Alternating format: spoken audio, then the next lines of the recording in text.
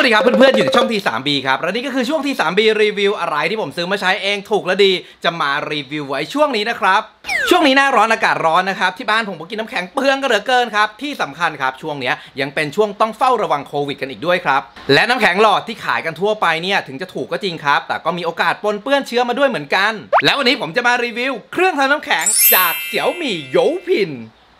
มาแกะกล่องดูกันเลย เอาแกะแล้วนี่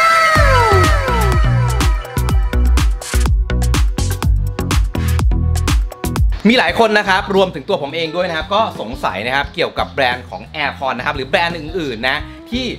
บอกว่าจะจำหน่ายโดยเสี่ยวมี่นะครับหรือว่าเป็นแบรนด์ของเสี่ยวมี่หรือว่าผู้ขายเนี่ยโฆษณาว่าเป็นของเสี่ยวมี่ จริงๆ แล้วเสี่ยวหมี่นะครับเป็นบริษัทที่เริ่มต้นจากการผลิตสมาร์ทโฟนนะครับแล้วก็อุปกรณ์ที่เกี่ยวข้องกับสมาร์ทโฟนอื่น ๆ และในปัจจุบันนะครับเสี่ยวหมี่ก็มีการลงทุนร่วมกับบริษัทอื่นๆนะครับมากกว่า 80 บริษัทนะครับเพื่อผลิตสินค้าอื่นๆนะครับที่เป็นสินค้าใช้ในบ้านนะครับโดยใช้ชื่อว่าเสี่ยวหมี่ Ecosystem ครับซึ่งเราจะเห็นนะครับอุปกรณ์ต่างๆ พวกนี้นะครับเป็นสีขาวๆนะครับแล้วก็ติดแบรนด์ของเสี่ยวหมี่ไว้นะครับแบบนี้ก็คือมีเสี่ยวหมี่เป็นผู้ร่วมลงทุนครับและเราน่าจะเคยเห็นครับว่ามีผู้ขายบางคนนะครับเขียนว่าสินค้าเนี่ยเป็นของเสี่ยวหมี่โยผิน และเสี่ยวหมี่โยผินคืออะไรเสี่ยวหมี่โยผินนะครับคือแพลตฟอร์มการขายของออนไลน์ของเสี่ยวหมี่นั่นเองนะครับแต่ว่าสินค้าทั้งหมดข้างในเนี่ยอาจจะไม่ได้ผลิตโดยเสี่ยวหมี่ก็ได้นะครับแล้วก็ไม่ใช่สินค้าที่เสี่ยวหมี่ร่วมลงทุนครับซึ่งจริงๆแพลตฟอร์มตัวนี้เป็นแพลตฟอร์มที่คล้ายๆ กึ่งออนไลน์นะครับกึ่งระดมทุนนะก็คือให้นักธุรกิจรุ่นใหม่เนี่ยครับที่ลงทุนทำสินค้าของตัวเองนะแล้วก็มาให้ทางเสี่ยวหมี่ตรวจสอบนะครับว่าจะสามารถทำตลาดหรือขายได้ไหมนะแล้วก็เอามาขายในแพลตฟอร์มนี้ครับซึ่งจะบอกว่าเราไม่สามารถสั่งเองผ่านแพลตฟอร์มนี้ได้ เพราะไม่มีการจัดส่งในประเทศไทยครับแต่ก็จะมีร้านค้าต่างๆนะครับนำเข้ามาแล้วก็มาขายในเว็บไซต์แพลตฟอร์มเมืองไทยอย่าง Lazada ซึ่งวันนี้เราก็จะมารีวิว เครื่องทำน้ำแข็งยอดฮิตตัวนี้กันนะครับแอร์คอนจาก Xiaomi Youpin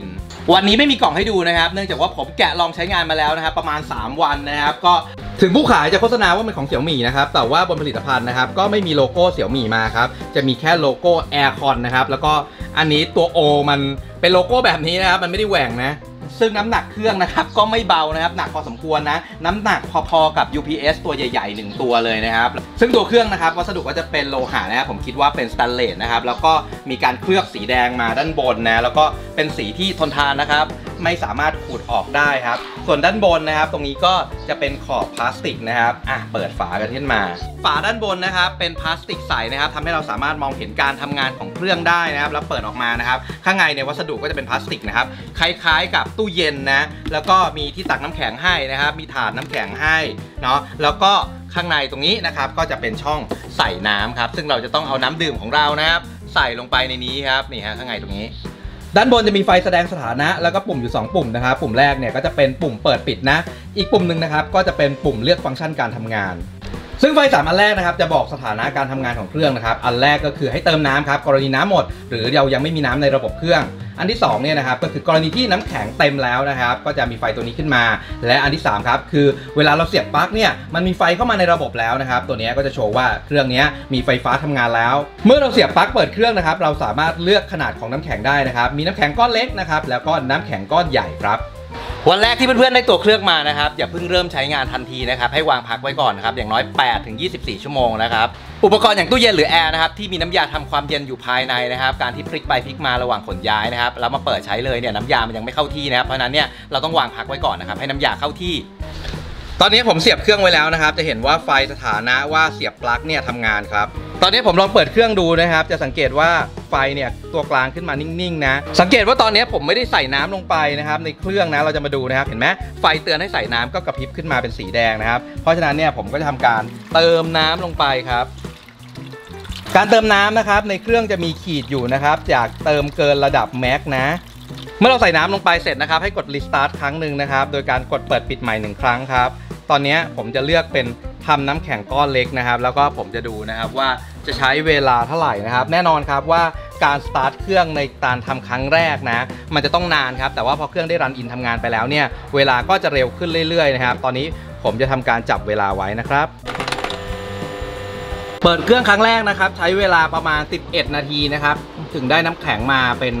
ก้อนแรกนะครับ เดี๋ยวเรามาดูนะครับ เดี๋ยวรอบต่อๆไปนะ ตอนนี้เครื่องเริ่มมีความเย็นแล้วนะครับ น้ำแข็งก็น่าจะผลิตเร็วขึ้นครับ สังเกตว่าน้ำแข็งที่ได้มาครับ ก็จะใสๆแบบนี้เลยนะครับ ตามคุณภาพน้ำที่เราใส่ลงไปนะครับ น้ำบ้านผมเป็นน้ำ RO นะเพราะฉะนั้นเนี่ย น้ำแข็งจะใสมากครับ ซึ่งลักษณะของน้ำแข็งนะครับก็จะเป็นทรงหัวกระสุนนะครับ ด้านหนึ่งปิดนะครับ ด้านหนึ่งเป็นรูครับ รอบนี้นะครับผมปรับน้ำแข็งเป็นก้อนใหญ่ขึ้นนะครับ อ่าลองตั้งเวลาดูนะครับ โดยการทำงานของตัวเครื่องนะครับ ก็จะมีน้ำหยดผ่านตัวแท่งสแตนเลสที่อยู่ด้านในนะครับ แล้วก็แท่งสแตนเลสเนี่ยก็จะปล่อยความเย็นออกมาเรื่อยๆครับ แล้วก็รอให้น้ำเนี่ยมันเกาะเป็นน้ำแข็งนะพอน้ำเกาะเป็นน้ำแข็ง ถึงเวลาที่จะกำหนดนะครับเครื่องก็ทำการกดตัวน้ำแข็งนะครับ ปล่อยให้น้ำแข็งตกลงมาครับหลังจากนั้นก็กวาดลงมานะครับเป็นน้ำแข็ง พร้อมให้เราทานแบบนี้ได้เลยครับนี่เห็นไหมนี่นะครับ เราก็จะได้น้ำแข็งพร้อมทานแบบนี้นะครับ โอเคครับ อ่า10นาที 30 วินะครับ ออกมาแล้วนะครับ นี่นี่ครับน้ำแข็งก้อนใหญ่ของเรา ผมจะเทียบให้ดูนะครับ นี่คือขนาดน้ำแข็งก้อนเล็กกับก้อนใหญ่นะครับ ขนาดก็ต่างกันเกือบ 1 เท่าตัวครับ สำหรับเครื่องทำน้ำแข็งนะครับก็สามารถผลิตน้ำแข็งได้ครั้งละ 9 ก้อนนะครับก้อนเล็กก็ใช้เวลาประมาณ 7 นาทีครับก้อนใหญ่ก็ใช้เวลาประมาณ 9-10 นาทีนะแต่ว่าในการใช้งานอย่างต่อเนื่องครับแล้วก็ปิดฝาไว้ไม่ได้คอยเปิดเข้าเปิดออกนะครับการผลิตน้ำแข็งนะครับก็จะเร็วมากขึ้นครับแล้วถ้าถามว่าเครื่องนี้สามารถใช้พอไหมนะครับบ้านผมก็อยู่ 4 คนนะกินน้ำแข็งกันตลอดเวลานะครับก็ในวันแรกที่ผลิตนะครับบอกเลยครับว่าใช้ไม่พอครับแต่ว่าถ้าเราผลิตสต็อกไว้นะครับทำเก็บไว้สัก 2-3 ตะกร้านะครับ ก็จะพอเพียงสำหรับการใช้งานในแต่ละวันนะครับ แต่ยังไงก็ตามนะครับ ก็ขึ้นอยู่กับการบริโภคน้ำแข็งของเพื่อนๆด้วยครับ หน้าร้อนอย่างเงี้ยยังไงก็กินน้ำแข็งเยอะอยู่ดี และเครื่องทำน้ำแข็งจาก Conair เพื่อนๆไม่จำเป็นจะต้องไปสั่งที่เว็บ Xiaomi Youpin นะครับเพื่อนๆสามารถสั่งเองได้เลยครับจากลิงก์ที่ผมใส่ไว้ใต้คลิปวิดีโอนี้ครับและขอบคุณนะครับเข้ามาติดตามชมอย่าลืมกดติดตามกดกระดิ่งเป็นกำลังใจผมพาไปยอด4แสน subscribe นะครับและอย่าลืมไปติดตามใน TikTok ด้วยนะครับมีคลิปความรู้ลงทุกวันเลยนะครับวันนี้ไปก่อนครับบ๊ายบายครับ